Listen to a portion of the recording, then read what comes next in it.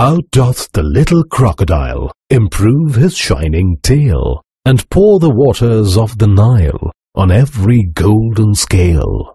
How cheerfully he seems to grin, how neatly spread his claws, and welcome little fishes in with gently smiling jaws.